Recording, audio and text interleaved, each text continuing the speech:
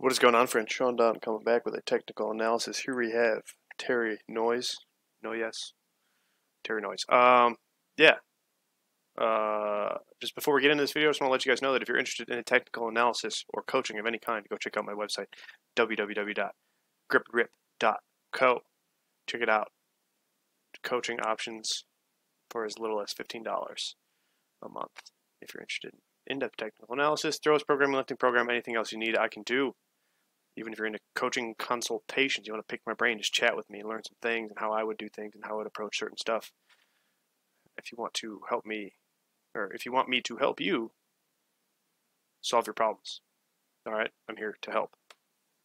Love that stuff. So, uh, yes, here we have Terry throwing the 14 pound hammer, 47 meters, Masters athlete. Let's, uh, honestly, looking at the first two turns from what I saw before the video, I kind of like it a lot. And it's just that very last turn or two, things kind of go awry.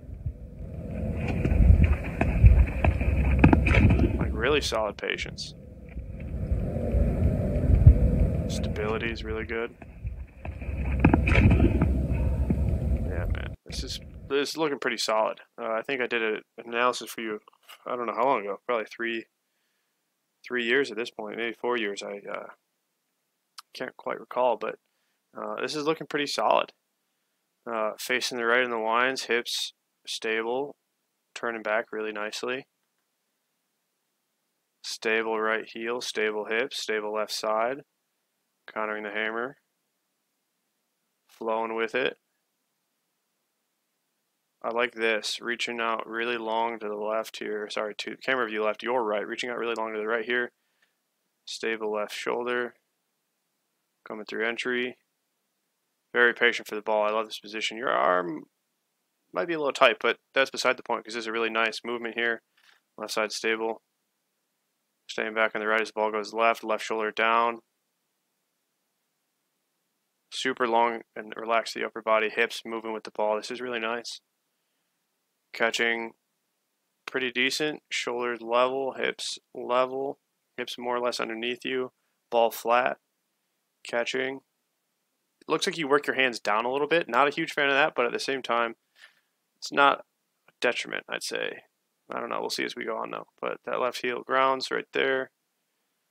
Very stable, very patient. You can see the ball's almost ahead of you. At least your head is behind the ball, which is great. Level shoulders, really good connection, solid connection here. Holding this left leg, left foot really close. That's really cool. Um, Ball goes super long out to the left. Shoulders super long and relaxed. This is great. Hips are working up towards the ball. This is good. Side of the left foot, long and relaxed here. Then you can see this is where things go a little bit awry. Like I said, it starts to happen here, and you can see your right foot's very long and patient and relaxed here. Or sorry, not right foot. What am I saying? Your right foot's on the ground pretty long here.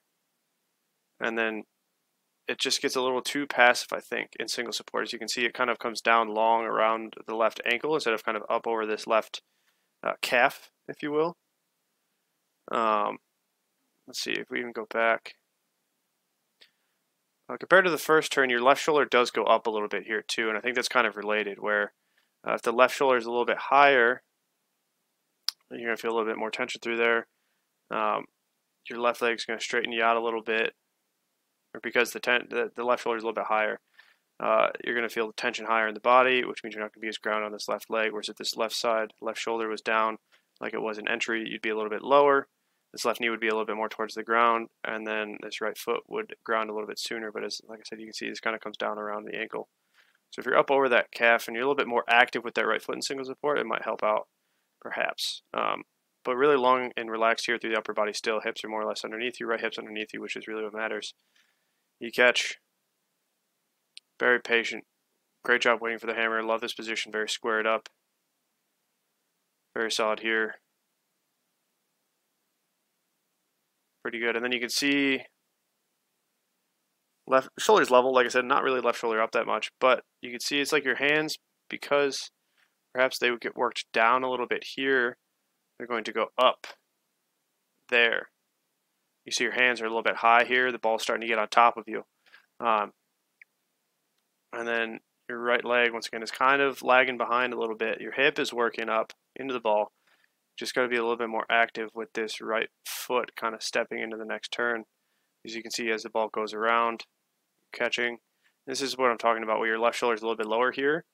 Left knee is a little bit more down towards the ground, but I think you could be uh, have a little bit more hip flexion in this right right hip, perhaps, in single support. And you catch flat, facing the uh, sector, facing the ball. Hips could be underneath you a little bit more here. As you can see, there's just a slight forward tilt through the upper body. Catching flat, heel comes down, decent here. But then I think the problem here, this is where the I think I think this is turn three, going into the next turn. Yeah, so this this movement here. I think you're just a little bit too antsy on this first catch, or not on this first catch, on this catch. Sorry, uh, it's late in the day for me. I'm not used to doing technical analyses this late, so my brain's a little. I should say my mouth is a little bit sluggish compared to my brain. Um, but yeah, I think on this catch in this turn, your left heel grounds earlier, uh, and then you have the tendency to pull back a little bit more aggressively. And I think, like I said, it does kind of go back to posture a little bit too, where you catch. And then if your hips were more forwards underneath you, or if your chest was more over your hips, you'd have a little bit better stability. Where I think because you don't have your hips underneath you, you're not quite fully connected with the hips, the shoulder's going to pull a little bit quick, a little soon. It's going to pull back pretty aggressively. And they're going to lose that connection, the tension. You can see this right shoulder start to go down a little bit, left side start to go up towards the end of double support. You see this left side getting pulled up away. Like I said, the hammer's getting on top of your hands are above the head. That's uh, not the most ideal thing that you want. And then you can see with that, your right side is not quite as connected still. This is probably the most dramatic your right leg is, where it's kind of out away a little bit and, and not as tight to, like I said, that left calf or the left ankle even. But this left shoulder getting pulled up is kind of the big thing. And you can see with that, your left shoulder gets pulled up, you're going to come off the ground. Boom. Like just about there. Yep. So left shoulder comes up, hand or the ball's kind of pulling you up. The ball's on top of you, catch, and like you're just doing anything you can to salvage it there at this point because you had a really nice first three turns. You catch, you kind of gather yourself, tighten up your legs, tighten up your shoulders, tighten up your whole body, get your hips really up into the throw really nicely. But then it's um kind of this weird crossbody finish where yeah you're kind of stumbling over yourself a little bit. Um, but the first three turns are really nice, and I think it goes back to maybe just setting posture a little bit better, making sure your hips are underneath you, your chest is up, uh, your, your torso should be uh, kind of rigid, like a girder, if you will. You don't want it bending forward. You want it kind of more or less straight up and down, I'd say. Um, and uh, you want your hips underneath you. That's kind of the big thing, connecting the hips. But otherwise, like you're doing a really good job staying patient there. First turn, super patient. You could maybe be back on the right leg a little bit more towards the end of this turn. You do get pulled around just a little bit, and that's, I think, why the hips aren't underneath you like they need to be. Then stay back there. You got to stay back on this right leg a little bit longer.